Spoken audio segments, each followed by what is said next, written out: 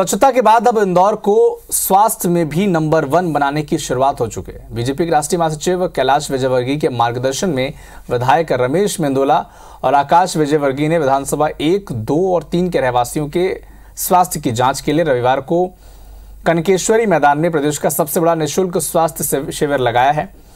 इस शिविर के मुख्य अतिथि महाराष्ट्र के उप मुख्यमंत्री देवेंद्र फडणवीस रहे। शिविर में अमलतास अस्पताल के जाने माने चिकित्सक शामिल हुए, जहाँ 700 से ज़्यादा डॉक्टर और 3000 स्वास्थ्य कर्मी कार्यकर्ताओं की टीम लगाई गई थी।